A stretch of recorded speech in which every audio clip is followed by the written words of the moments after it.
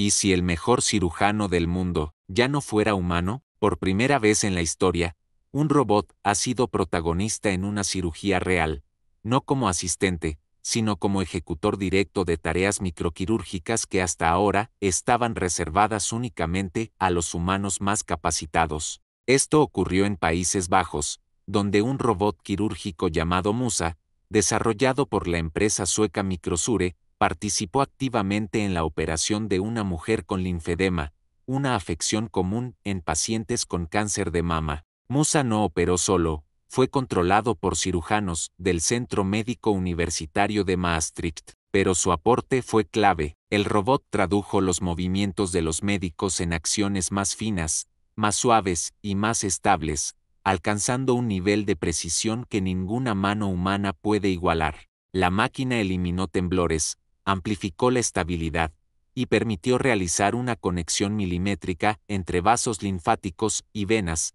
algo esencial para tratar el linfedema. Este tipo de intervención es tan delicada que se realiza bajo microscopios quirúrgicos y requiere años de experiencia, pero ahora, una máquina puede hacerlo. El cirujano Sansan Kuiu, uno de los responsables, dijo algo clave, con este robot, podemos acercar la microcirugía a más hospitales del mundo, porque no se trata solo de reemplazar a humanos, sino de democratizar el acceso a procedimientos complejos. A diferencia de los brazos robóticos ya conocidos como Da Vinci, Musa no es autónomo, es una extensión perfeccionada del cirujano humano. Pero la pregunta que ya flota en el aire es clara, ¿por cuánto tiempo más será necesaria la mano humana? El avance no es solo técnico, es filosófico, porque si hoy una máquina puede coser vasos del tamaño de un cabello humano, ¿Qué impedirá que mañana tome decisiones médicas por sí sola? El futuro ya no está a décadas de distancia,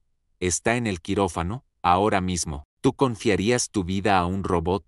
Déjanos tu opinión en los comentarios, suscríbete si quieres conocer los límites, o la ausencia de ellos en la medicina moderna, y activa la campana, porque la ciencia ya no pregunta si puede hacerlo, simplemente lo hace.